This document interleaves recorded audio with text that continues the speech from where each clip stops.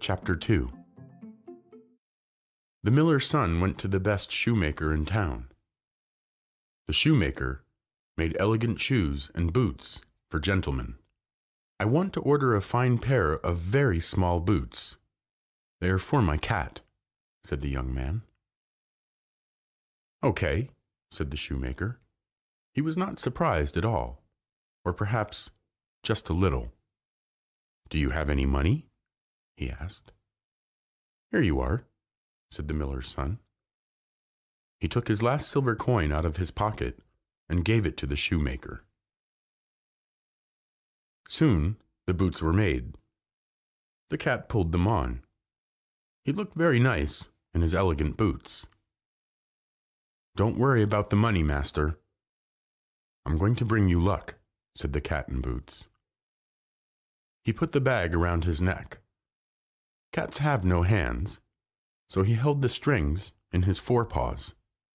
Then he put some vegetables and a piece of bread into the bag.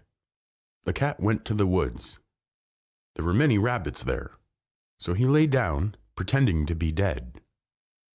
The cat didn't move at all. His plan was to wait for some foolish rabbit to come and look into his bag. The cat didn't wait long.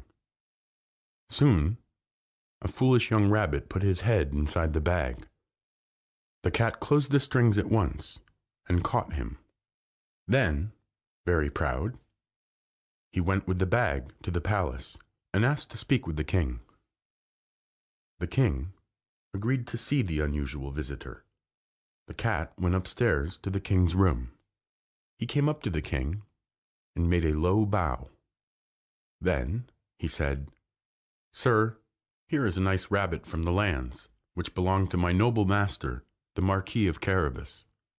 He decided to give his young master this title. He told me to offer it to your majesty. Tell your master, said the king politely, that I thank him for this nice present. I'm very pleased with his attention. Another time, the cat went to a wheat field and hid among standing wheat. He again held his bag open. Soon, two fat partridges ran into the bag. The cat drew the strings and caught them both. The cat went to the king's palace again. He gave the partridges to the king, with the same message from his master as before. The king received the gift. His majesty was very pleased. He even ordered to take the cat down into the kitchen and give him something to eat and drink. The cat enjoyed the meal very much. He sat in the kitchen for a long time, talking about his rich master, the Marquis of Carabas.